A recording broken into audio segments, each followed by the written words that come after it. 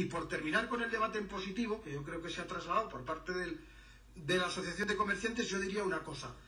Reconozco que es cierto que la Avenida Pío XII es solamente una gran avenida de salida y entrada de vehículos a la ciudad. Pero es que también nos proponemos transformar eso.